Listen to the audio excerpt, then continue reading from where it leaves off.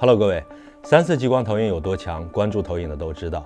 今天这位是2024年的第一台三色激光的进化机型吉米 RS10 Ultra，它到底进化了什么？又 Ultra 在哪里？我用了一段时间，也测了一些数据。今天我们就一起透过它精致的外表，看穿它的内心。如果你时间有限，可以直接跳到在意的章节；如果你想全面了解，我们现在直接开始。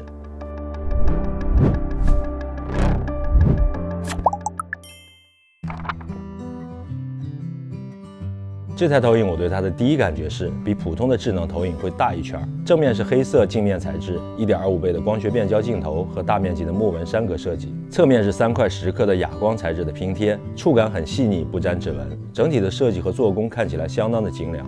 背面和底面是设计很规整的浅灰色散热口，外部设备接口很简洁，一目了然。而它的 DC 电源口这次放在了云台的底部，那是因为这个云台它是电动的。有了电动云台，它就可以自己扫描墙面，找到投影幕，把画面投射进去。这个过程看起来很萌，像个机器人一样。这个功能并不需要特殊的幕布，但是需要摆放投影的时候，让它默认的画面大小超过投影墙的大小。电动云台的自动校准对于普通用户来说非常的方便，但是如果你追求极致，也可以手动校准。因为镜头是一点二五倍的光学变焦，意味着它可以在不损失画质的情况下，以比较大的容差来手动调节画面大小。RS10 Ultra 的投射比为1.2到1.5比1，意思是如果你想投出一米宽的画面，就需要投影镜头距离墙面1.2米到1.5米。这张图是我根据它的最大投射比计算出来的。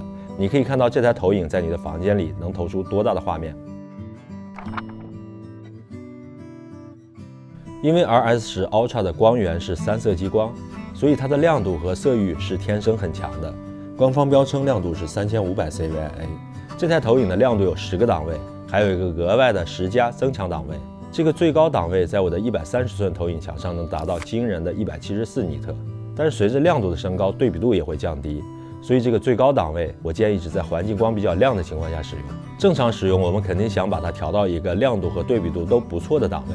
为了找到这个点，我用了一个通宵测试了所有图像模式和亮度档位，不同组合下的亮度、黑位和对比度。通过这些数据，可以得到一个结论。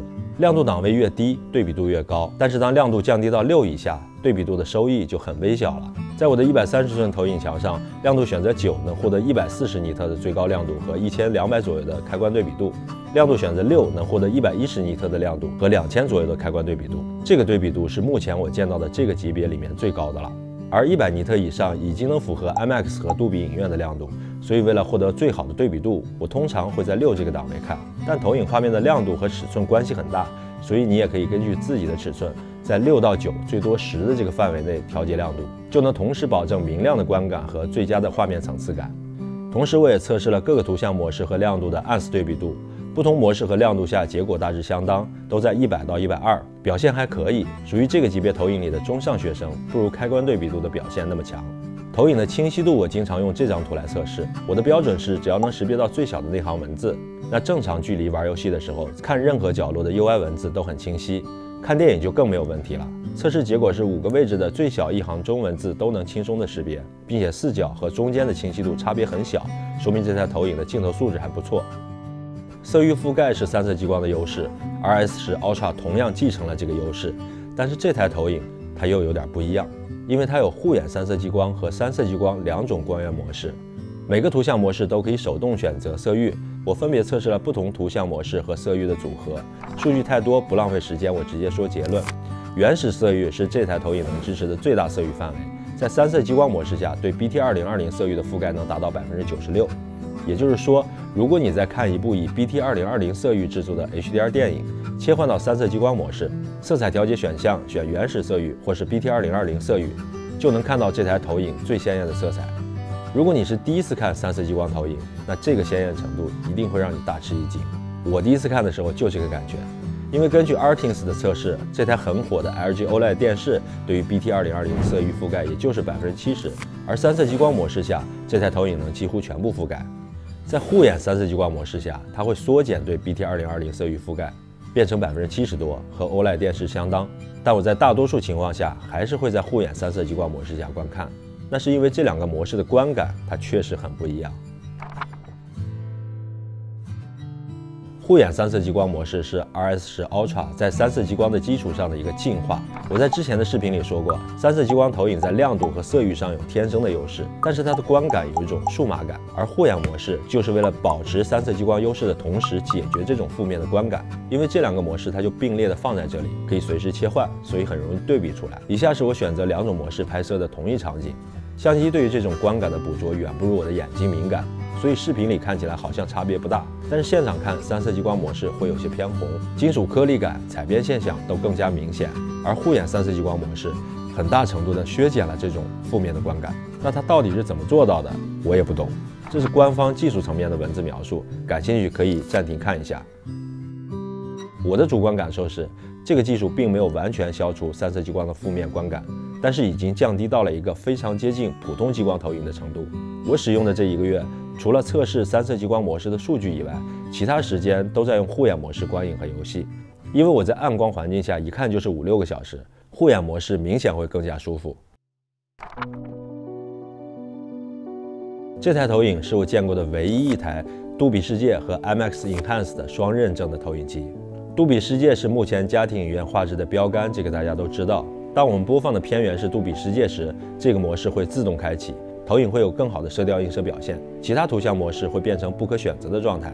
但你可以在杜比世界模式中选择更明亮还是黑位更好两种模式。IMAX Enhanced 也叫 IMAX 增强版，是一个针对家庭影院的 IMAX 新标准。它做了三件事儿：一是以这个标准拍摄或者重制的宽银幕大片，画面会从2.39比1扩展到1.9比1，也就是去掉了一大部分上下黑边，增加了百分之二十六的画面。二是对 HDR 视频的认证和规范。三是和 DTS 公司合作，让 IMAX 增强版的电影支持杜比全景声以外的另一种多声道的音频格式 DTS-X。IMAX 官网可以查到目前支持 IMAX 增强版的片源和五家流媒体平台。可惜的是，这台投影刚刚发售，现在只能支持爱奇艺平台的 IMAX 增强版片源，并且正常点亮图标。吉米说未来会更新到支持其他平台，希望能早日实现。吉米系统的游戏模式不是一个图像模式，而是单独的一个选项，在任何图像模式下都可以开启。游戏模式有两个选项：基础和极速。介绍文字说，基础能够降低延迟的同时保证分辨率，但我选择极速，它依然是 4K 分辨率，所以我不知道它为什么这么说。但是能感受到它们俩的最大区别是，基础能获得一个可玩游戏的低延迟，而极速能获得60赫兹刷新率下的最低画面延迟。但极速的代价是不能开启梯形校正。以保证最少的画面处理，换来最低的延迟。另外，如果你连接 PC，把分辨率调到 1080P，这台投影可以支持到240赫兹的超高刷新率，画面超级丝滑。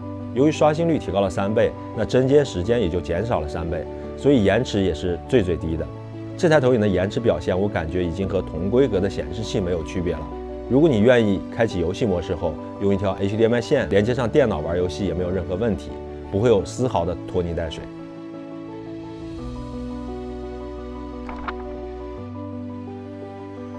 为了和 RS 十 Ultra 的新电动云台匹配，吉米这次设计了全新的两个支架。落地支架的材质做工依然是绝对的优秀，但是不像以前的圆形底座，这次是更大的 X 型。优点是外形纤细优雅，缺点是无法像以前一样把电源适配器隐藏进去了。安装还是比较简单，但是因为云台模块高度不是太高，和手的接触面积不大，拧紧很容易，但是拆的时候还是比较吃力的。吊装支架的材质比以前的吊架好了很多，暖白色塑料外壳是磁吸的，把电源适配器隐藏进去之后，可以轻松的扣上，把连接杆向上一顶就可以卡住，旋紧旋钮就很稳固。但是它不能伸缩，也不能万向旋转，是因为和它配套的 RS 十 Ultra 自带可以旋转和俯仰的电动云台。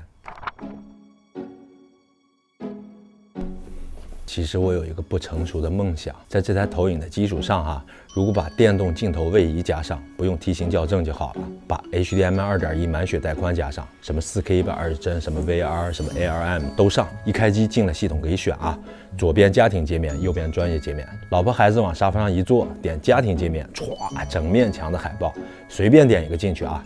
4K 杜比世界，无损杜比全景声，什么电影预告、IMDB 评分、豆瓣年度榜单都有。我往沙发上一坐啊，Win Win 大人脸这么一识别，歘，又进入到了折腾界面。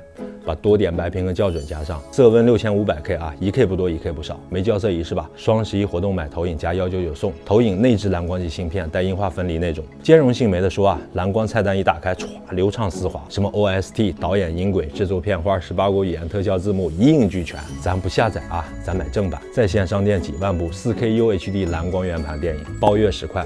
哦，涨了一块是吧？